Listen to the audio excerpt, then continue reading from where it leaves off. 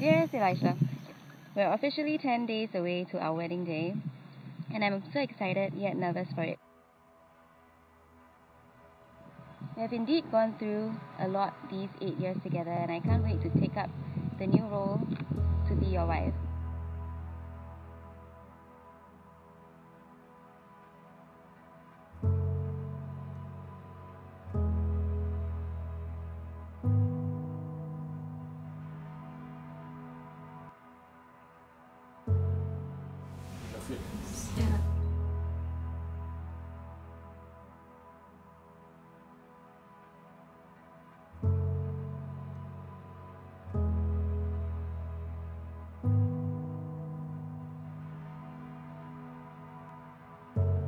People think that our LDR experience was probably the most challenging period in our relationship.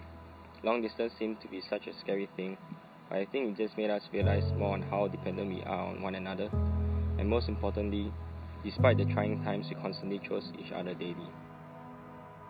I had so much to say when I knelt down, so here goes. You've been a true lighthouse in my life, despite the million times I've strayed away always standing strong and constant for me. In our entire relationship, you've been through so many ups and downs, yet you've been my pillar of support, never wavering no matter what. You've given me a reason to succeed, a reason to better myself, and you showed me how powerful love can be, that it prevails even through the darkest times in our relationship. And for that, I thank you for this love you've given to me time and again, and I can't wait to spend the rest of my life with you. Nonchalant as I can be at times, but the truth is, without you, I feel empty. Not because I'm comfortable, but because I know there's none like you. I'm sure the next happiest day of my life will be our wedding day.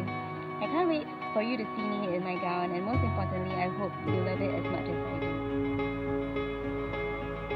You may also be stressed out on my opinion of your wedding dress, but just trust me when I say you look beautiful no matter what. The reason why I didn't want to be part of the, the uh, design process was because I wanted you to pick what you like, not what I like.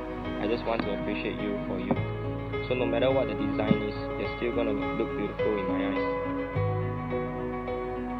And I will still shed tears of joy knowing that I don't deserve such a beautiful bride. But I'm still standing there because you chose me. Finally, I just want you to know that you're more than what I deserve. And as we embark on this new journey, may we never cease to choose one another. For the rest of my promises, wait another 10 days for my vows to you. I love you very, very much. Your soon to be husband. Oh, thank you. oh no, my makeup melted.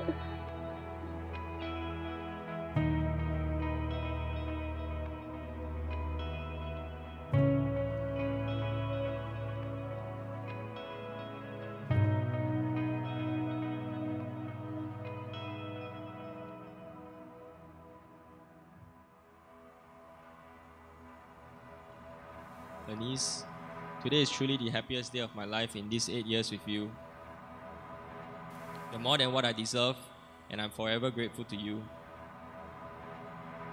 So, with my whole heart, I, Elisha, take you as my wife, to love what I know of you and trusting what I yet not know, accepting your faults and strengths as you do mine.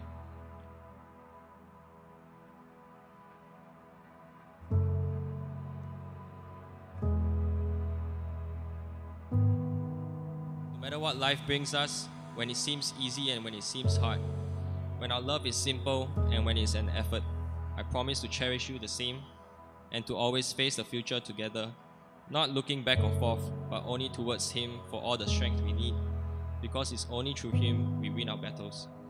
I cannot promise you all happiness or perfection, nor promise you that I will never make you cry or be the perfect man for you, but I give you my word that I'll always strive to be the best for you that I can be and to be your faithful partner, to encourage you and to inspire you, to laugh with you, to comfort you.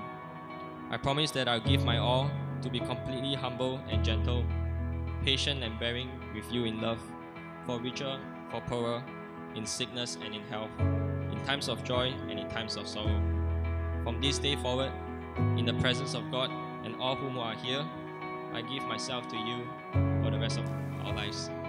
I love you. Dearest Elisha, today I take you to be my husband, acknowledging all your strengths and weaknesses as you do mine. I choose you again and again. At the start and at the finish of every single day,